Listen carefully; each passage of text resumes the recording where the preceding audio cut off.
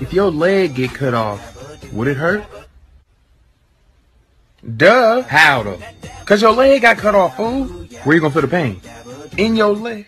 Exactly, bruh. How you gonna feel the pain in your leg if your, leg, is gone?